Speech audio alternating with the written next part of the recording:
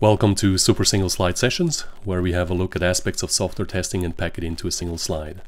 Today I would like to advertise for a wonderful organization which has done tremendous work for the benefit of the testing community.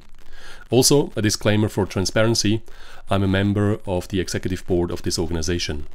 So, here's a simple advertisement. If you are an earnest software tester, you should become a member of the Association for Software Testing. The AST has done a lot of general education work for testers with its black box software testing workshops that all have a duration of four weeks. Those are intensive four weeks where students deeply engage in the reflection and the hands-on application of software testing. The AST also organizes the yearly conference CAST, where we take the idea of conferring seriously.